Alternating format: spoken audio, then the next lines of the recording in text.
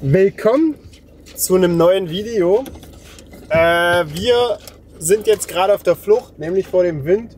Wir stehen hier noch an den Sanddünen oder zwischen den Sanddünen. Es ist heute richtig, richtig windig, Windböen bis 40 km/h.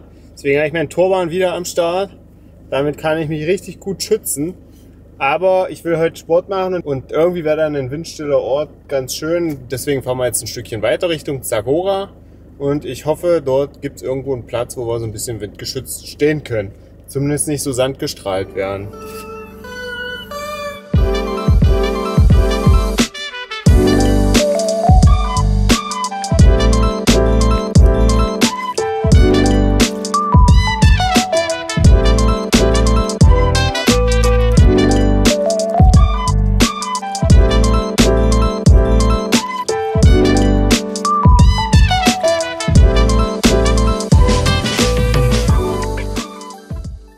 Weil es heute ja so windig draußen ist, haben wir uns jetzt einen etwas windgeschützteren Platz gesucht.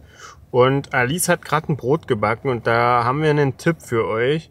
Nämlich, Also warte, eigentlich backen wir Brot immer selber. Aber Matze hat uns mal gesagt, wir sollen uns das mal holen, wenn wir nach Marokko fahren. Also Genau. das spanische. weil er irgendwie nicht wusste wegen Mehl, beziehungsweise hier gibt's nur viel Weißmehl. Und jetzt haben wir uns so eine Fertigbackmischung aus Spanien mitgenommen vom Lidl. Ähm, Vollkorn. Und das hat Alice gerade das erste Mal gemacht. Und zeige mal her.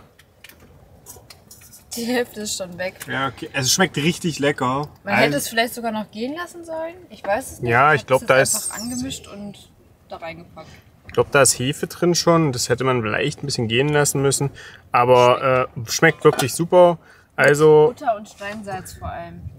Wer mal Bock hat auf ein geiles Brot, keine Lust hat, äh, das Mehl selber zu mixen oder den Teig selber herzustellen, gönnt euch hier dieses Zeug. Ah, hello! Let's go! Ah? Sind das die richtigen? Weiß ich ich nicht. weiß ja nicht, was hier los ist. Ich schreibe schon eine ganze Weile. Warte, mit Insta. Teenager, was will denn der? Ja. Leute, was hier gerade passiert, können wir selbst nicht glauben.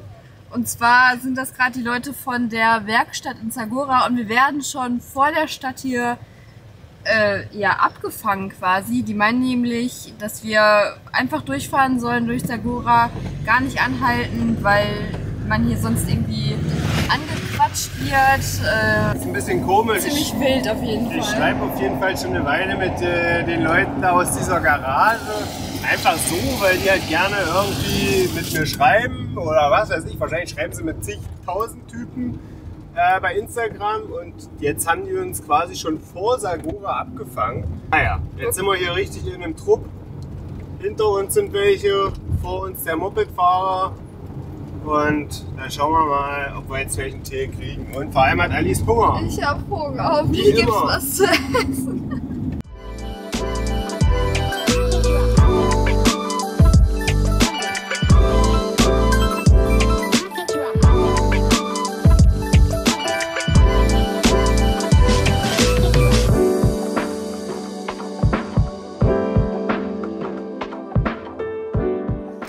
So, das war eine Action hier in Sagora.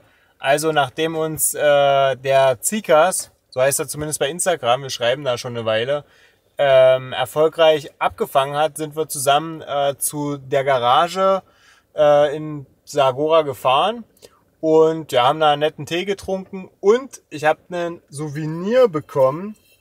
Das hat er einfach mal für mich machen lassen, richtig nice. Einen Teller mit meinem Logo drauf.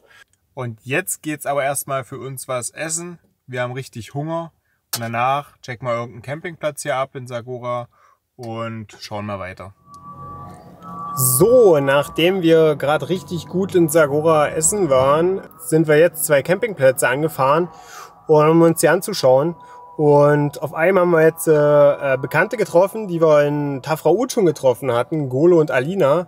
Und da haben wir uns jetzt natürlich kurzerhand entschlossen, da fahren wir jetzt hin Alice ist jetzt schon auf dem Campingplatz. Ich hole jetzt schnell das Auto, fahre auf den Campingplatz drauf und dann äh, werden wir ja, hier auf jeden Fall eine Nacht pennen und ähm, ja, morgen wahrscheinlich weiterfahren. Wir haben noch gar nicht beratschlagt, was wir machen.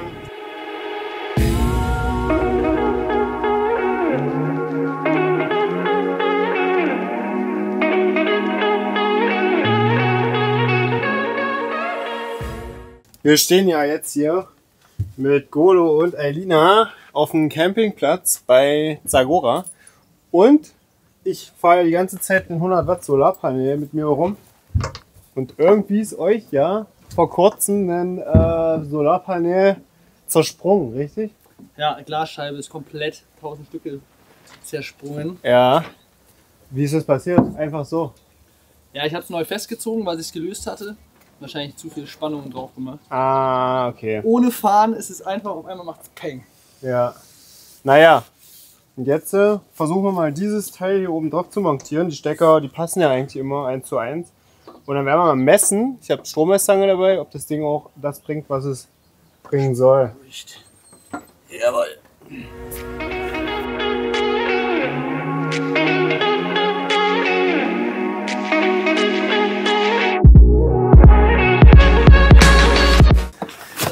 Die Solargeschichte bei unseren Nachbarn hier, die hat dann doch nicht so geklappt, beziehungsweise was heißt geklappt? Da hat ein Stecker nicht gepasst und wir haben uns dann doch entschieden, die 100 Watt, die machen es jetzt nicht. Wir haben gemessen, das bringt 4 Ampere an Strom und das ist jetzt natürlich nicht so die Ausbeute. Die haben einen neuen Dachträger sich machen lassen, den Tafraud. Da passt deutlich mehr drauf als dieses kleine 100 Watt Panel. Also sollen die sich, wenn sie in Spanien sind, so ein 400 Watt Panel oder so günstig kaufen. Die gibt es ja nämlich günstig in Baumärkten. Und ja, wir fahren jetzt zusammen mit denen und noch einem anderen Pärchen auf dem Platz hier weiter Richtung Mersuga. Und ähm, ja, machen einen Zwischenstopp auf jeden Fall noch. Das sind ungefähr vier Stunden Fahrt bis nach Mersuga. Irgendwo unterwegs suchen wir uns Plätzchen, wo wir dann zusammen chillen können. Und morgen geht es dann weiter in die Wüste, Erkshebi nach Mersuga.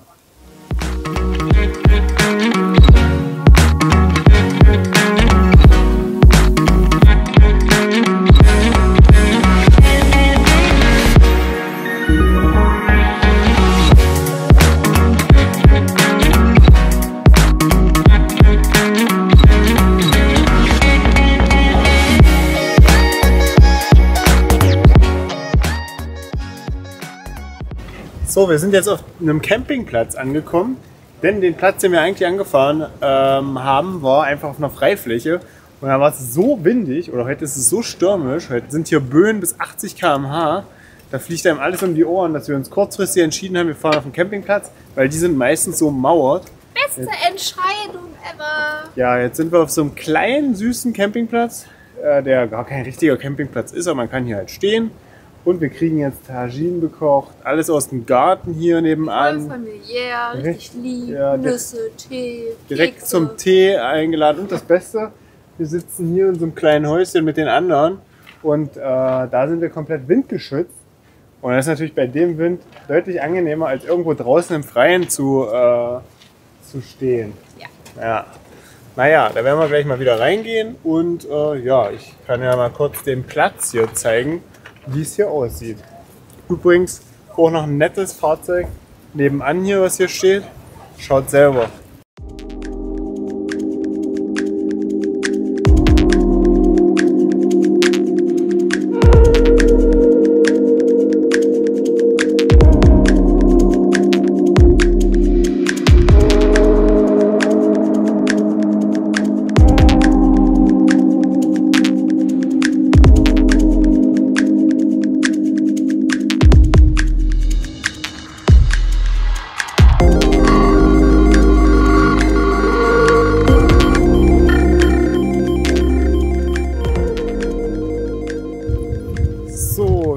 Sind ja hier gerade noch auf dem Campingplatz äh, von Barek und Abdul. Und jetzt wird uns noch ihr Garten gezeigt.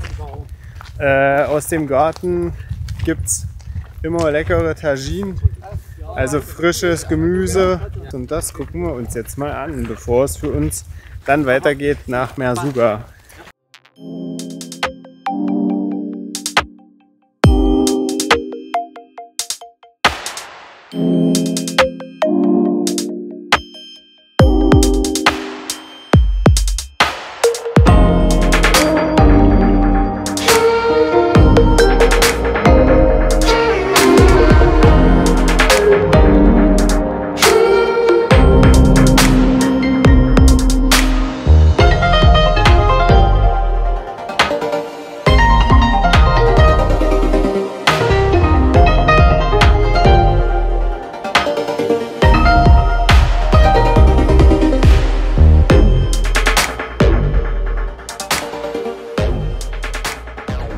Durch die, die Palmblätter durch sieht man Blüten. Die müssen jetzt aber noch von der männlich, männlichen Palme befruchtet werden. Und dann werden daraus Datteln. Das heißt, alle Palmen, die hier stehen, von allen ist nur eine männlich und die muss alle anderen weiblichen äh, bestäuben. So, jetzt gibt es hier noch frische Möhren aus dem eigenen Garten. Richtig gut. Wasser aus den Bergen hier im Hintergrund tatsächlich. Jetzt werden hier unsere Möhren geputzt. Eine Mini, eine Mini-Möhre. Thank you. Wo es grün ist, da ist die Henna-Pflanze für die Farbe. Es gibt irgendwie diese Henna-Farben. Ich kenne das gar nicht. Also da kann man irgendwie Farbe draus produzieren. Wer dazu mehr weiß, kann es mal gerne in die Kommentare schreiben. Minze gibt es natürlich auch. Die wächst hier irgendwo zwischen. Schon probiert? Und hier wachsen die Bohnen direkt neben den Erbsen. Ich habe hier auch gerade schon welche probiert. Erbsen sind richtig lecker. Die kommen hier in Marokko in die Tagines. See the difference. Hier haben wir die Erbse und die Bohne. Die Erbse schmeckt besser so roh. Die Bohne ist ein bisschen trockener Schön und äh, ja, trockener und säuerlich. Ich bitter. bleib bei den Zuck- Zuckerbohnen. Super.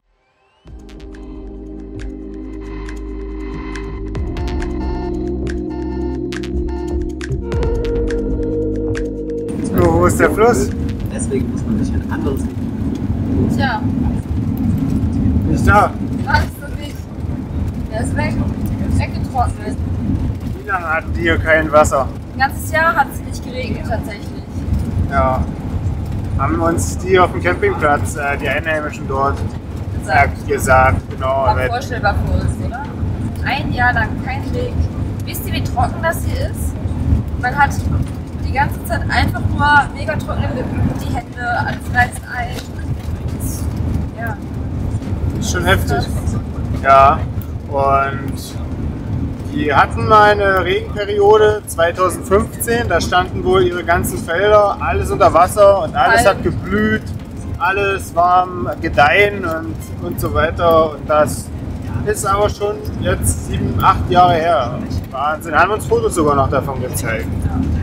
Absolutes Highlight. Wir sind jetzt auf jeden Fall Auf dem auf Weg. dem Weg zu den Dünen. Die sieht man schon in der Ferne.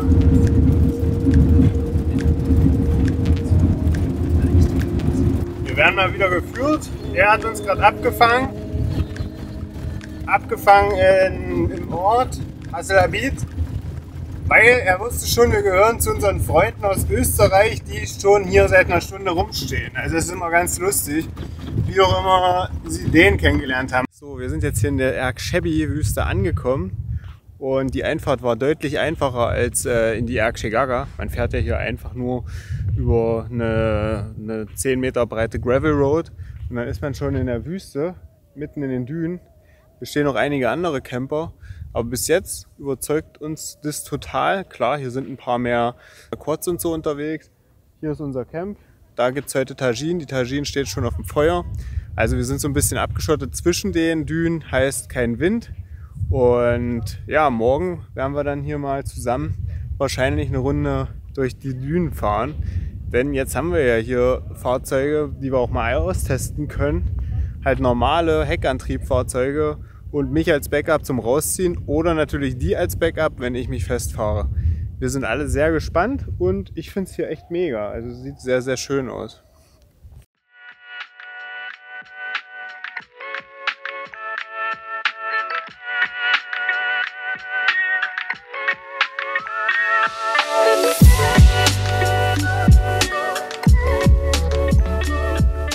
Was wir bei unserer gemeinsamen Offroad-Tour durch die Ergshebi-Wüste erlebt haben und wie sich die Autos im Sand geschlagen haben, erfahrt ihr im nächsten Video. Seid gespannt! Lasst gerne ein Like, ein Kommentar und ein Abo da. Bis dahin, euer Lukas und eure Alice.